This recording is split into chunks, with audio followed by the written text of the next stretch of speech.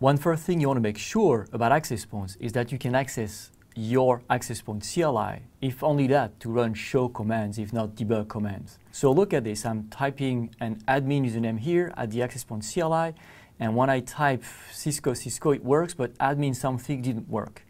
So default is Cisco Cisco, so you might find it normal that Cisco Cisco works, but it's not always the case. And by the way, the default for enable is also Cisco.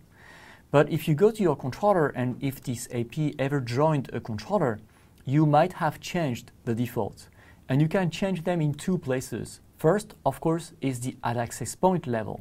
If you go here and go to credentials, you can use this checkbox, override credentials, to change the username and password used to go for that AP. And the thing is that the AP is going to remember that change. So next time it reboots, even before it joins this controller, it's going to remember those changes. So you may be in a case where the AP is not accessible anymore because you changed the username and password here, but you didn't know. You did, or somebody else did. The AP rebooted. It's not on this controller, but still you cannot access the CLI. What do you do in that case? Well, the best case, if you do not want to reinstall the AP firmware, is to get the AP somewhere on the controller and then go back to that page, change those values. Because you know the AP is going to use CapWAP to join the controller, so it doesn't need those credentials. So the safe way is to have the AP on the controller so that you can cleanly change those credentials. So you can set the credentials at the access point level, but you can also change them globally on the controller for all the APs that are going to join this controller. And this is done here in wireless access points global configuration. Of course, if you change the value here, all the APs on the controller are going to change their username and password from Cisco to whatever you put here. And they are going to remember that as they reboot. If you make a change here and you also go to the individual access point and you make another change, as usual, it's the change specific to the access point that is going to be uh, chosen. So if you say here admin admin and on the access point you say test test, you're going to use test test on that access point and admin admin on all the others. So again, best way, if that happens, get the AP on the controller. Put the controller in the same subnet. That's a guarantee that the AP is going to broadcast CapWAP discovery messages, and it will eventually get on that controller. You'll be able to change its value. Okay, now on the access point, there is a very nice command if you can get access to the CLI, which is show CapWAP client RCB. Don't ask me what RCB stands for. But that command is great because it's going to tell you what is the CapWAP status of the access point as a client going to tell you that the AP is enabled, which is great, but also it's going to tell you the MWR. That's the main controller. That's the controller to which the access point is connected. So you see now it's on WC30, and you see the IP address, the management IP address of that controller. When the AP is not connected to a controller, it will tell you as well. It will tell you I'm in discovery mode, I'm in join phase. It will tell you exactly what it is doing and where it's doing it. So if you happen to connect to an access point and you don't know where this AP is, just that command tells you on what controller the access point is. It also tells you the access point mode, local. That is very useful if you get the AP in some weird mode like bridge, for example, where you may remember you need to put the access point MAC address in a MAC filter. So that is useful to know what exactly the status of the access point is. And of course, below you have some other hardware characteristics that are not as important for the CapWAP phase. There is another one which is show CapWAP and if you continue you can choose for example IP configuration. This is interesting when you want to configure the IP statically to join the controller. You can give an IP address to that access point and you can also provide a specific configuration to the access point about what controller it's supposed to join. So this family of show CapWAP command is very useful to let you have a view of what exactly the access point configuration is as a CapWAP client. So for example, the show CapWAP client config is going to tell you if you have a primary, secondary, tertiary controller configured on the access point, what the IP address of the access point is again, what its mode is again, but you see you have a different view from uh, the CapWAP standpoint about what the access point status is going to be. And of course, because it's a Cisco object, show CDP neighbor is very useful for you to check what is next. That is to say, what switch port the access point is connected to. More than often, when the access point cannot join the controller, it's because it cannot get an IP address or because it cannot route its way to the controller. So with show CDP neighbor, you can check what switch the access point is connecting to, and that will allow you to check on that switch what the configuration might be and what connectivity might be as well. So here I'm on my switch, and I can say show run for the interface on which I know the access point is connected now, and that allows me to know if it's a trunk or not, if it's a VLAN or not, and what VLAN is allowed there. The other important thing you can run on a switch is show power, because the access point can either have a power brick or it can use PoE from the switch. And show power in line on the switch is going to be very useful to know how much power is being drawn from that port. And you see here, my AP is taking 11 watts.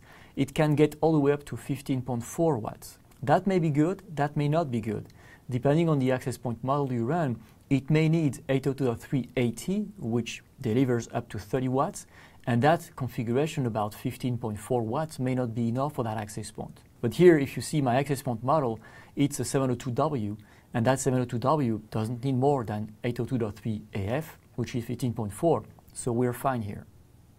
Also, if the AP is in a VLAN, you may want to check that VLAN status at layer 3. So show IP interfaces brief to check, in my case, that VLAN 23 is configured and is up. So I know that my switch is a layer 3 switch and it can route traffic coming from VLAN 23 to somewhere else.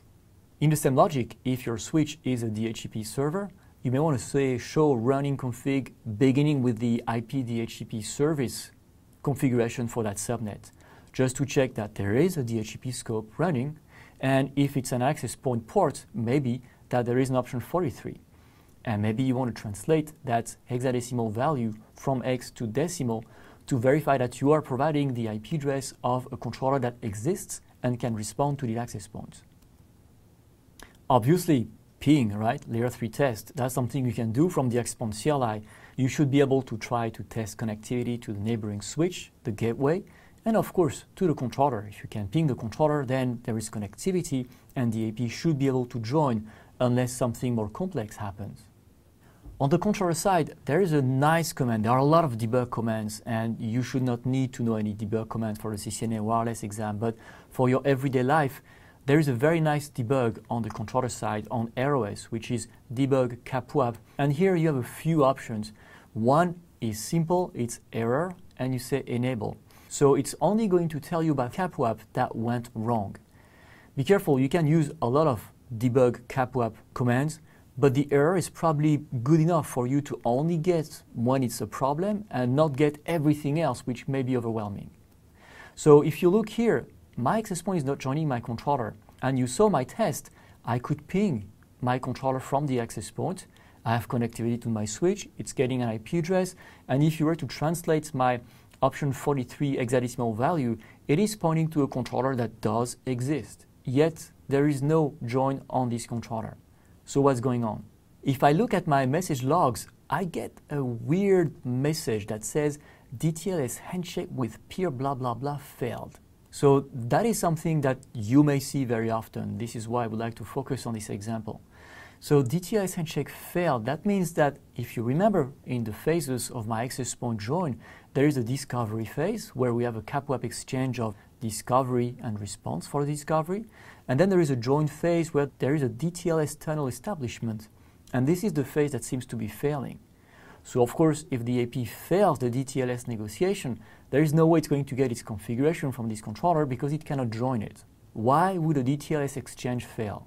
Well, primarily for one reason, certificate exchange. That is to say, the certificates that are exchanged between the access point and the controller do not work. One side is refusing it. And if you think about it, uh, you could not think of any reason why that would happen. Those certificates are not certificates you change or you put. There is no PKI here, although there are some ways of getting certificates on the access point and the controller. But for the AP to controller communication, those are certificates that were put in factory by Cisco. So they should be recognized on both sides. Or maybe not. Apparently not. So let's dig a bit further. While I was looking here, my debug capwap errors enable command was in effect, so I do have some errors reported for CAPWAP on my CLI. So what do they say? They say handshake or DTLS encrypted packets failed. So it keeps saying that the negotiation for DTLS fails. All right, and if we look at the access point, you see what we have here. It says, oh, look at that, certificate unknown alert. So the access point is telling me that the controller is sending a certificate that is unknown. So again, if you think about it, you say, well, that's not possible. It's been by Cisco implemented into the controller and I cannot change it. So why would a Cisco certificate be not valid? Well, that issue, which is very common, is in fact due to this. Look at the date on my controller. It may happen that there is a power cut and that the battery on the board of your controller is dead for some reason, which means that when the controller reboots, it goes back to its default time, which is somewhere in 2000. So when that happens, of course, the access point cannot join the controller anymore because the controller is sending in 2000 a certificate that was probably created somewhere in 2015 or 16. So that certificate is going to be created in 15 years. There is no way it can be valid. So the AP is refusing the certificate because the certificate is not valid yet. And that is key because the access point is getting the time from the controller. The access point adjusts its time when it talks to the controller so that there is no issue in the DTLS establishment between the AP getting its time from some place and the controller getting its time from some other place. So the AP is going to adjust its time from the controller and therefore the controller certificate created in 15 years is not valid yet.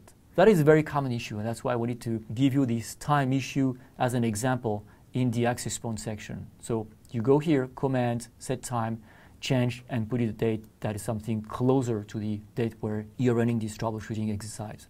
It doesn't need to be the right year, doesn't need to be the right day, as long as it's something which is in the validity scope of what is possible for a controller, then it's perfectly okay. Once this is fixed, of course, you have to relog in into the controller because now you've jumped 15 years ahead, right? But once you do that, you should see after a while that the access point is going to join. If you use an NTP server, you can also go here into controller, NTP, and you can define an NTP server. It's actually a good idea to do so. And then here you just enter the IP address of your NTP server, and you also have the option to use authentication if your NTP server uses authentication. So now my date is back to something that can make sense possibly. And if you wait a few minutes and if you keep looking at the console, you should see that the access point after rebooting, trying again, should probably make it to the controller now. Here we go.